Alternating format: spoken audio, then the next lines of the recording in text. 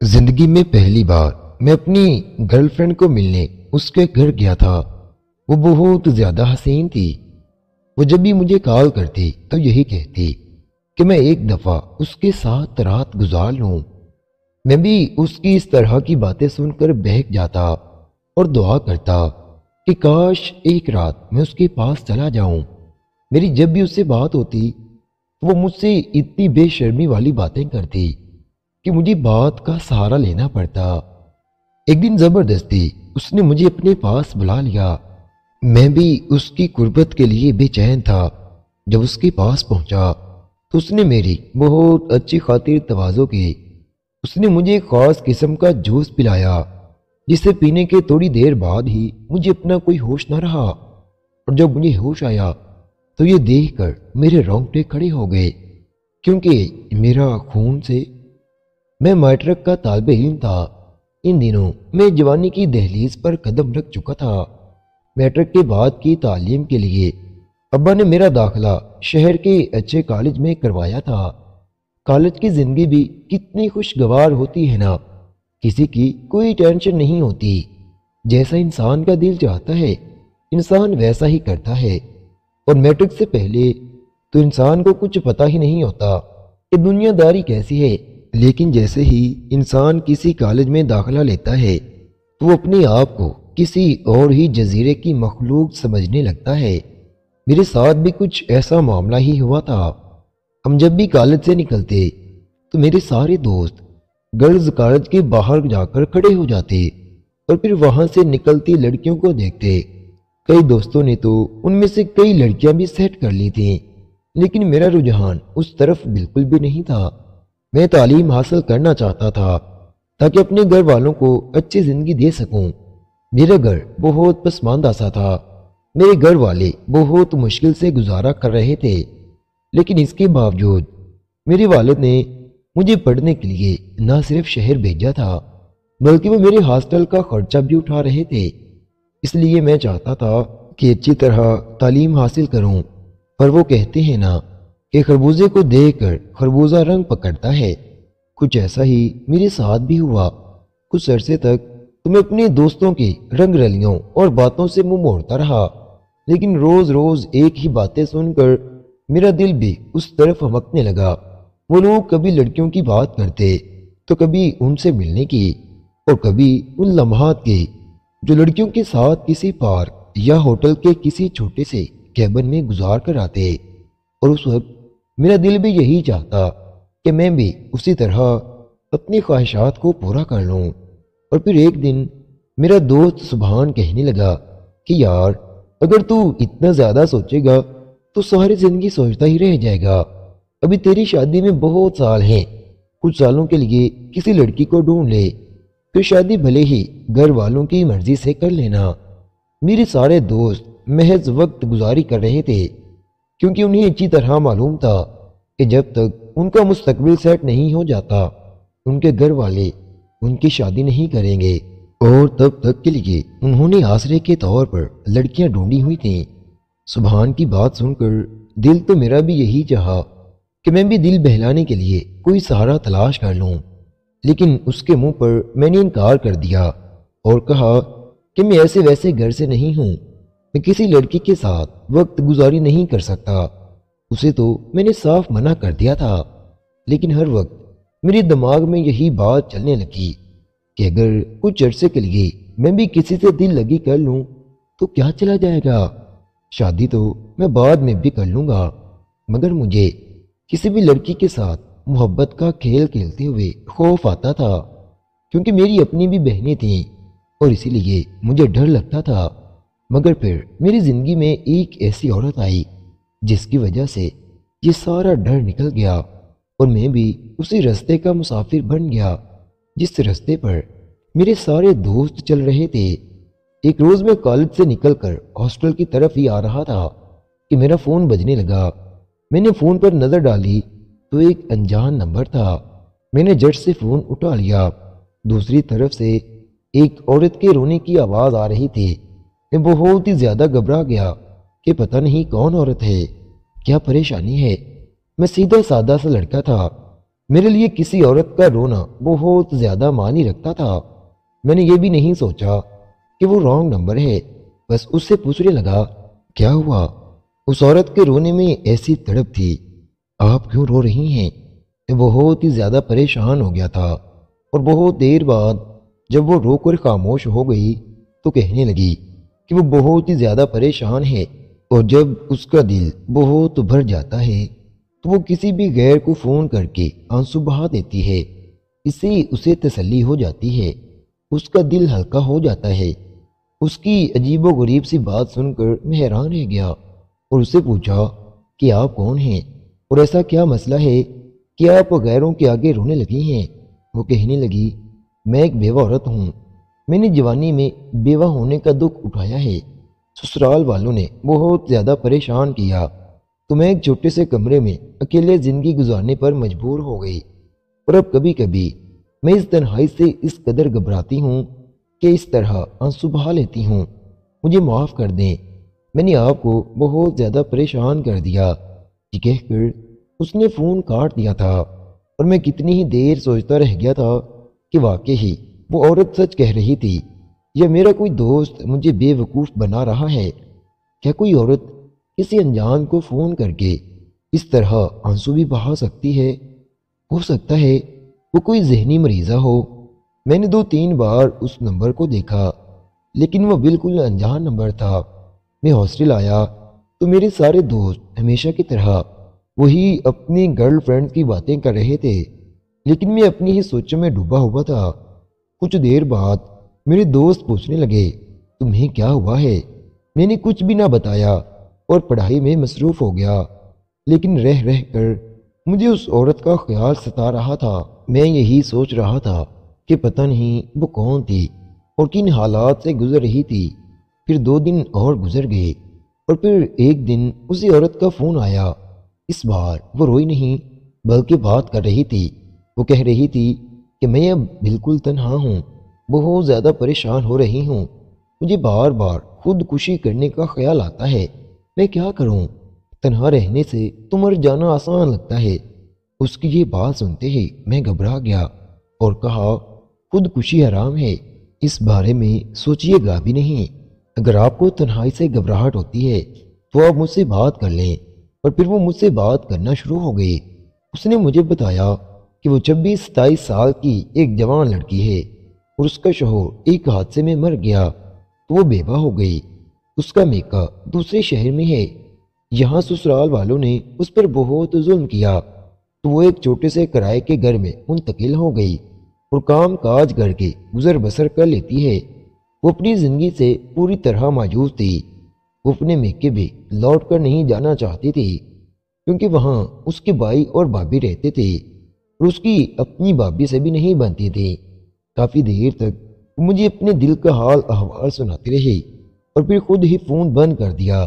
मैंने कोई डेढ़ घंटा उससे बात की थी और उस डेढ़ घंटे में मुझे एहसास हुआ था कि वो बहुत ही अच्छी लड़की है जो हालात की सताई हुई है और फिर उसने मुझे अपनी तस्वीर भेज दी, जिसे देखकर मैं अक्का बक्का रह गया। वो इस कदर हसीन थी कि मैं पलकें झपकना भूल गया था। हर खूबसूरत चेहरे की किस्मत भी खूबसूरत हो, ये ज़रूरी नहीं होता।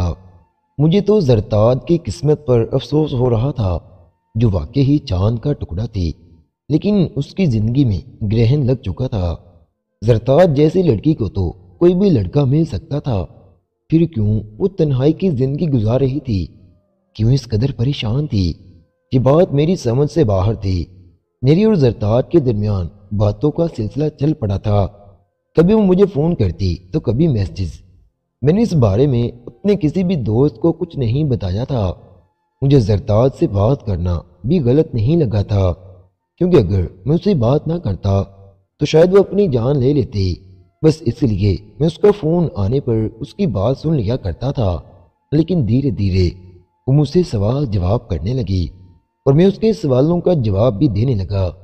वो मुझसे मेरे बारे में पूछती तो मैं उसे अपने हालात से आगाह कर देता और फिर मेरे साथ वाले लड़कों को भी। मेरी इस बातचीत का इल्म हो गया। हर कोई मुझे छेड़ने लगा था, लेकिन मैंने सबसे कह दिया था कि वो कोई बड़ी उम्र की औरत है, जो बेवा है।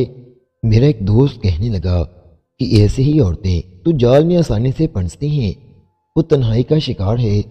अगर तू तो थोड़ा दाना डालेगा तो वो खुद बखुद तेरे आगे पेश हो जाएगी। सुबहान की बात सुनकर मैं शर्मिंदा हो गया और उससे कहा कि मेरी हरगिज भी ऐसी नीयत नहीं है। मैं तो बस उसका दिल लगा देता हूँ ताकि वो कोई उल्टा सीधा कदम ना उठाए। सुबहान कहने लगा कि जब वो दिल लगी को तैयार है तो फिर तुझे क्या एतराज़ है? एक औरत होकर अगर वो एक गैर लड़के से बात कर रही है तो इसका यही मतलब है कि वो बहुत ही ज़्यादा जज्बात से मजबूर है। अच्छा होगा कि तू मौके से फ़ायदा उठा ले। बहुत आसानी से वो तेरी हो सकती है। और ऐसी औरतें तो शादी का वादा भी नहीं लेती वरना हमारी वाली लड़कियाँ तो हर रोज़ यही सवाल करती हैं कि तुम मुझसे शादी तो करोगे ना? ये कहकर सुबहान ने कहका लगाया और मैंने खामोशी से मुँह फेर लिया। मुझे ये बात अच्छी नहीं लगी थी और फिर इसी तरह वक्त गुजरने लगा और मेरी जरताज से बातचीत बढ़ती चली गई। कभी वो एक घंटा बात करती तो कभी दो घंटे, कभी वो सारी सारी रात मुझसे बातें करती और मैं उसकी बातें सुनता रहता। उसकी बातों में एक जादू सा था। ऐसा लगता था, जैसे अगर मेरी उससे बात नहीं होगी तो मेरा दिन नहीं गुजरेगा। मैं उसकी हर छोटी बड़ी बात से वाकिफ हो चुका था। उसकी पसंद नापसंद, वो क्या सोचती है, मुझे हर बात का इल्म हो गया था। और कुछ ऐसा ही उसके साथ भी था। मेरे कहने से पहले ही वो मेरी बात समझ जाती थी और फिर हम दोनों के दरमियान आहिस्ता आहिस्ता बेतुकल्फी बढ़ने लगी। एक नामहरम मर्द और औरत के दरमियान तीसरा शैतान होता है, और हमारे दरमियान भी शैतान ने जगह बना ली थी। कभी कभी जरताज मुझसे ऐसी बात कह जाती कि मैं शर्म से पानी पानी हो जाता। वो खुलकर अपने जज्बात बयान करने लगी थी, बताने लगी थी कि शोहर की वफात के बाद वो किस कदर तनहा हो चुकी है। और मैं भी पहले तो उसकी बातें सुनकर शर्मिंदा होता था, लेकिन आहिस्ता आहिस्ता उसे तसल्ली देता और अपनी बातों से ही उसके जज्बात को ठंडा करने की कोशिश करता। एक दिन मैंने जरताज से मुलाकात की बात की तो वो फ़ौरन राज़ी हो गई। कहने लगी कि तुम मेरे घर चले आओ। वो एक छोटे से कमरे के किराए के घर में रहती है। उसके घर का सुनकर मैंने इनकार कर दिया और कहा कि मैं तुम्हारे घर आना मुनासिब नहीं समझता। हम कहीं बाहर मुलाकात करते हैं। मैंने उसे पार्क में मिलने का कहा तो वो राज़ी हो गई और कहने लगी, ठीक है, अगली मुलाकात में तुम मेरे घर आना। इस तरह रस्तों में मुलाकात करना कुछ मुनासिब नहीं है। अगर मेरे ससुराल वालों ने देख लिया तो मेरी ज़िंदगी मुश्किल हो जाएगी। मैं उसकी बात सुनकर राज़ी हो गया और जो हमारी पहली मुलाकात एक पार्क में हुई। वो असल में तस्वीर से भी कहीं ज़्यादा खूबसूरत थी। उसे देखकर मैं हैरान रह गया था। वो तो इतने साल की लगती नहीं थी। उसके हाथ पाँव इतने गोरे थे कि पूरी तरह चमक रहे थे। वो मेरे सामने बैठी तो उसकी आँखों में आँसू आने लगे। वो खुद पर गुजरी कयामत के बारे में सुनाने लगी। पर मैंने उसके आँसू देखकर भी साख्ता ही उसका हाथ पकड़ लिया और उसे समझाने लगा। कुछ देर बाद उसने मेरे कंधे पर सर रख दिया और मेरा दिल धड़कना भूल गया। पहली बार मुझे किसी लड़की की कुर्बत हासिल हुई थी और इस बात ने मुझे पिघला कर रख दिया था। बहुत देर तक मैं अपने जज्बात पर काबू रखकर उसके साथ बातें करता रहा और फिर हमने एक दूसरे को अलविदा कर दिया। जो ही मैं हासिल वापस पहुँचा तो सुबहान अजीब सी नज़रों से मेरी तरफ़ देखने लगा। उसको पता चल गया था कि मैं जरताज से मुलाकात करके लाता हूँ। वो मुझे छेड़ने लगा और फिर ना चाहते हुए भी मुझे उसे इस मुलाकात का अहवाल सुनाना पड़ा।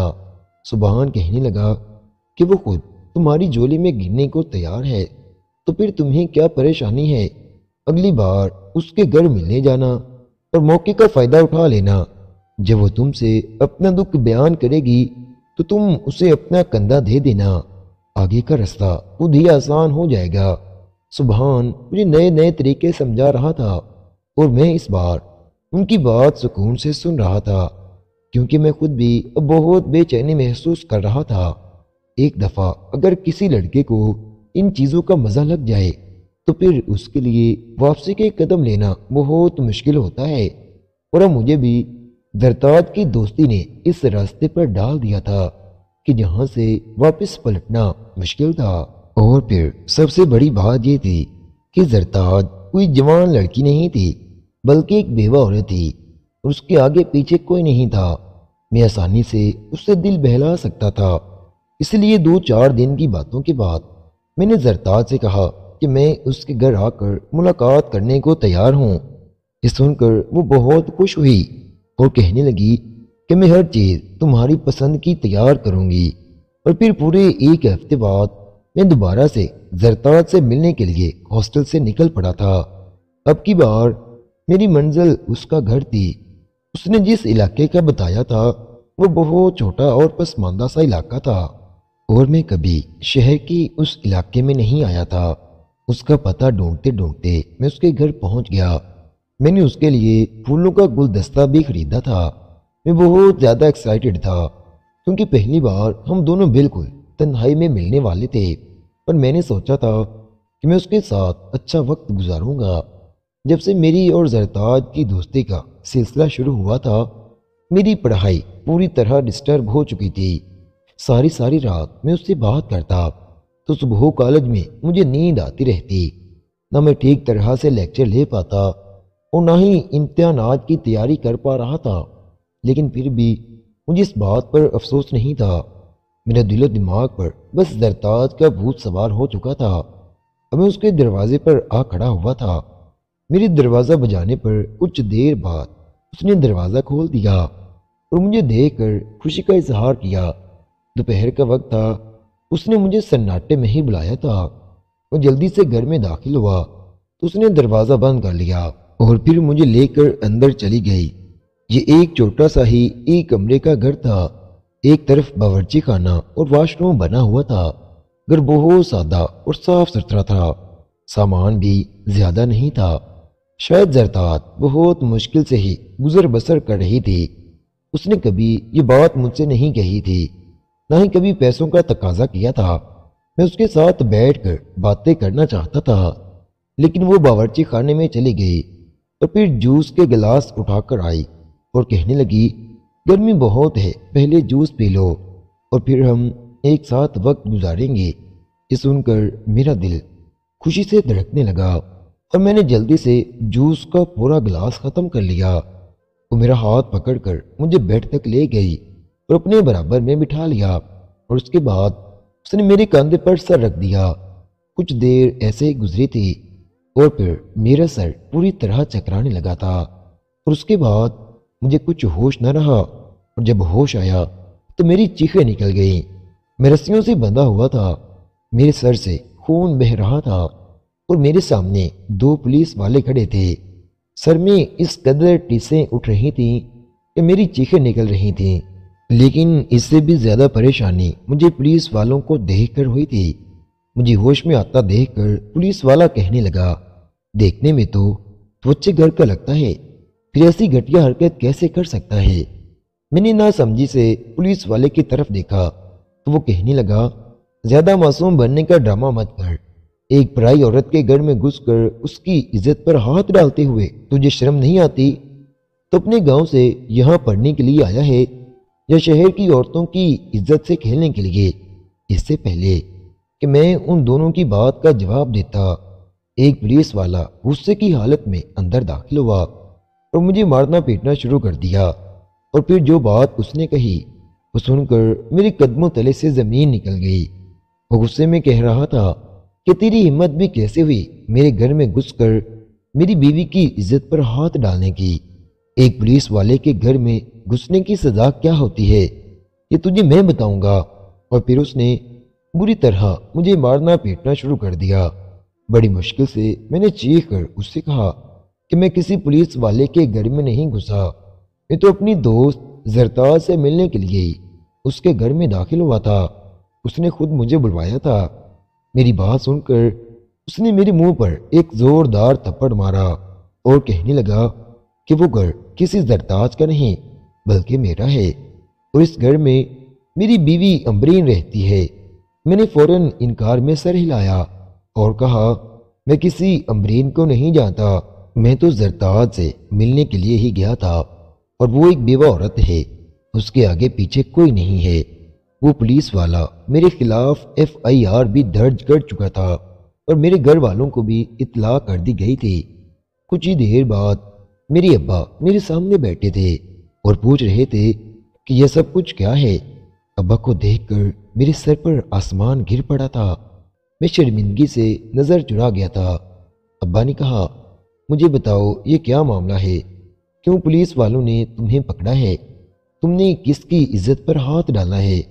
उस पुलिस वाले ने अब्बा को यही बताया था कि मैंने उसके घर में घुसकर उसकी बीवी की इज़्ज़त लूटने की कोशिश की है, ना चाहते हुए भी। मुझे अब्बा को सारा सच बताना पड़ा और मैंने शुरू से आखिर तक अब्बा को सारा सच बता दिया। लेकिन पुलिस वाला मेरी बात ना माना और फिर जब उसने अपनी बीवी को बुलाया तो मेरे तो कदमों तले से ज़मीन निकल गई, क्योंकि वो जरताज ही तो थी। मैंने उसे कहा कि जरताज बताओ इस पुलिस वाले को कि तुम एक बेवा औरत हो।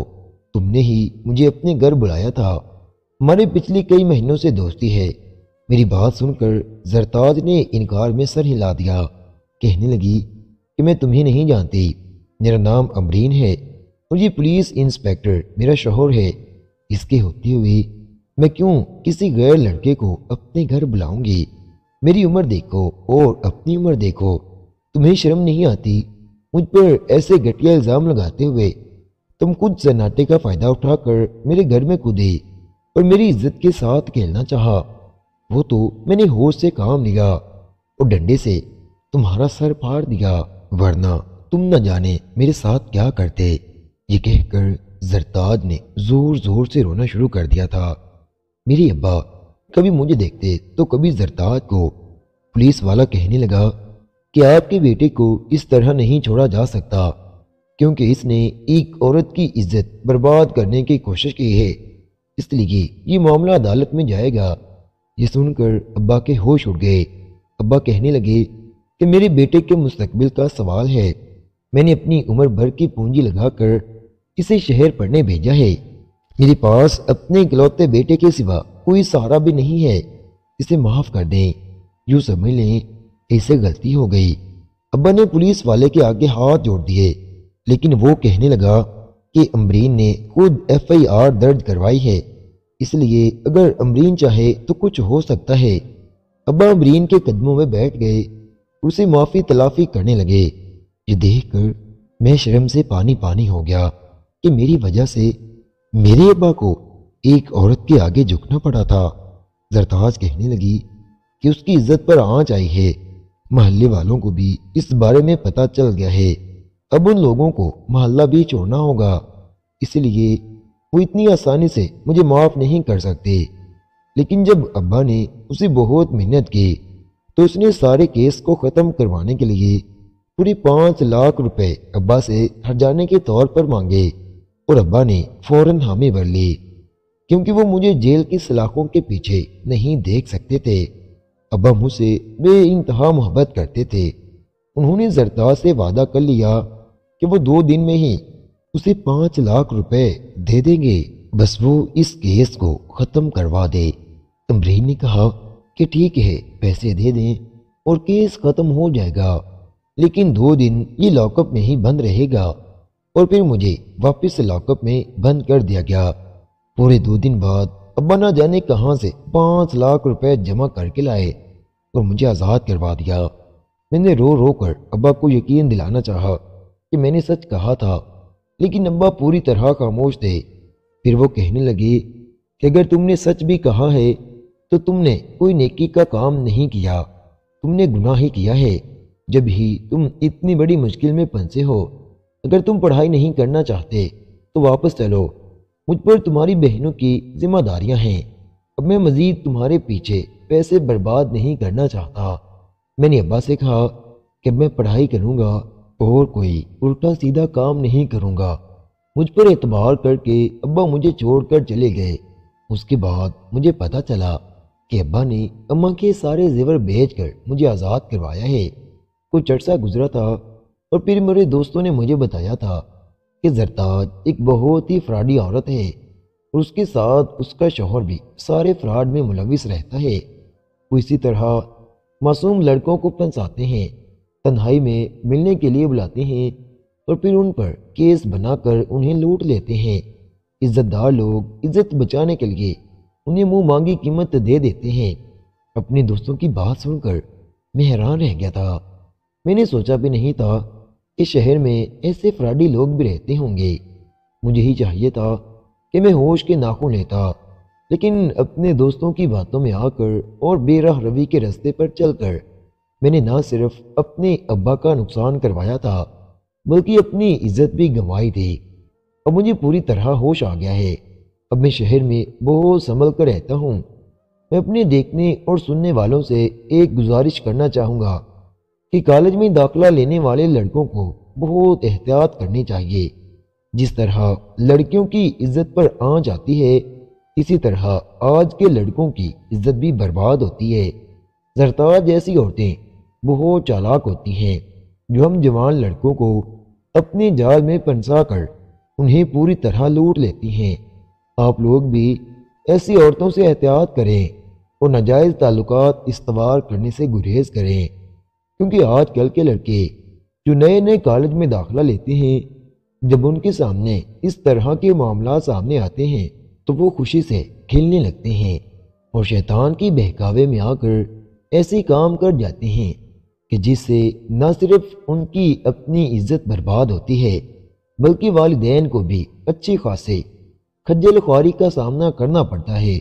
हमेशा अपने ईमान की हिफाजत करें और ख़ास कर आजकल के तालब इलम, हर हाल में अपनी नज़र की हिफाजत करें, क्योंकि नज़र की हिफाजत कई बीमारियों से बचाए रखती है।